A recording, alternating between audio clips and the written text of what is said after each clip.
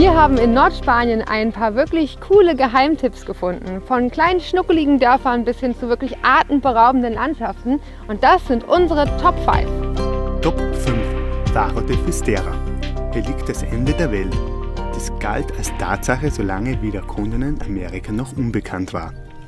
Das Cabo Fisterra ist Endpunkt der Verlängerung des klassischen Jakobswegs von Santiago de Compostela. Der Leuchtturm Faro de Fisterra wurde im Jahre 1868 errichtet und ist einer der wichtigsten, weil an deren Klippen unzählige Schiffe und vor allem bei den heftigen Winterstürmen zerschellten.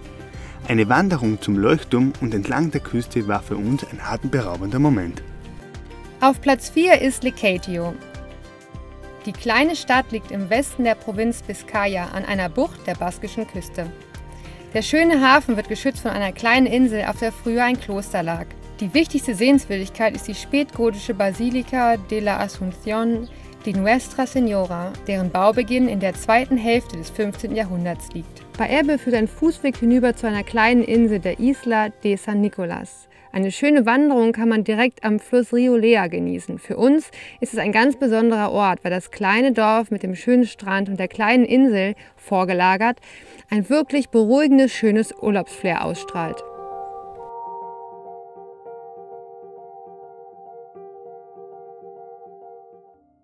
Top 3 San Juan de Castellogace, das Wahrzeichen der baskischen Küste. Die Insel ist etwa 270 Meter lang und maximal 80 Meter breit. Sie ist durch eine Steinbrücke mit dem rund 200 Meter entfernten Festland verbunden. Auf dem höchsten Punkt steht das ehemalige Kloster, das über 241 Treppenstufen erreichbar ist. Die Kirche wurde 1053 gestiftet. Seit dieser Ort für Game of Thrones ausgewählt wurde, ist die Zahl der Touristen, die sich der Insel nähern, beträchtlich gestiegen. Dieser Ort wurde nicht umsonst ausgewählt. Diese Wanderung zum Kloster ist ein wahres Abenteuer. Top 2 San Vicente de la Baquera ist ein altes Fischerdorf und zugleich mit seinen Stränden, seinem alten Kern und dem schneebedeckten Gebirge Picos de Europa einer der schönsten Orte der kantabrischen Küste. Die Stadt hat viele Bars und Restaurants. Die Brücken sind ein Kennzeichen dieser Gemeinde. Etwa die Matzerbrücke mit ihren 28 Bögen, die im 16. Jahrhundert auf Befehl der katholischen Könige erbaut wurde. Besonders bemerkenswert ist die zwischen dem 13. und 16. Jahrhundert in gotischem Stil erbaute dreischiffige Hallenkirche Santa Maria de los Angeles. Die Burg Castillo del Rey und die Reste der Stadtmauer stammen wahrscheinlich aus derselben Zeit.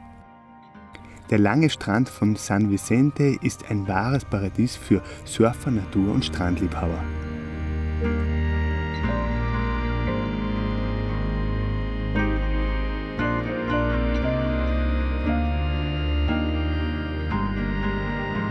Unsere absolute Nummer 1 ist Cudillero. Einer Legende zufolge wurde die Stadt von den Wikingern gegründet. Der kleine Fischerort zählt nicht umsonst zu den schönsten Küstenorten der spanischen Nordküste. Bunte Häuser klettern den grünen Hügel hinauf und unten schaukeln die Fischerboote im kristallklaren Meer. Beim Spaziergang zum Zentrum des Ortes gelangt man zur Plaza de la Marina, die sich zum Meer hin zum alten Fischereihafen öffnet. Dort finden sich viele kleine Cafés und Restaurants, die nur so einladen, um dort zu verweilen und die Menschen und das Meer zu beobachten. Abschluss müssen wir euch noch von einer der schönsten Wanderungen in der Gegend erzählen. Sumaya Koflisha. Das Dorf Sumaya befindet sich im UNESCO Geopark. Eine atemberaubende Landschaft mit spektakulären Felsformationen genannt Flisch. Hier verläuft auch der Camino del Norte, die Nordroute des Jakobsweges nach Santiago de Compostela. Vor allem im Sommer sieht man daher viele Pilger aus aller Welt. Weltweit bekannt ist dieser Strand mittlerweile auch, weil hier Szenen aus Game of Thrones gedreht wurden. Wir haben hier meinen Geburtstag gefeiert und diese Wanderung ist wirklich eine der tollsten Erinnerungen und demnach definitiv empfehlenswert.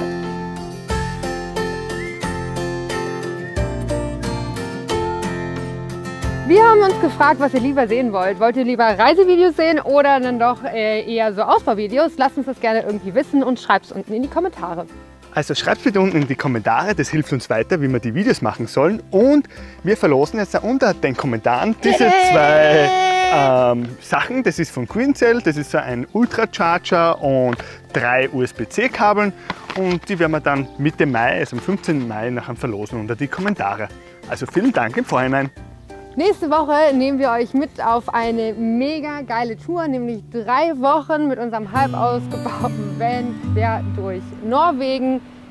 Mega geile Zeit, mega geile, geiles Land. Schalt einfach ein. Ja, vergesst nicht, unseren Kanal zu abonnieren. Das hilft uns bei unserem Projekt, damit wir weitere Videos schneiden und produzieren. Und wenn ihr auf diese Glocke drückt, dann versäumt ihr keine weiteren Folgen. Das Ganze ist natürlich kostenlos und wir freuen uns, wenn ihr nächste Woche wieder einschaltet. Bis dann. Ciao, Tschüss. danke.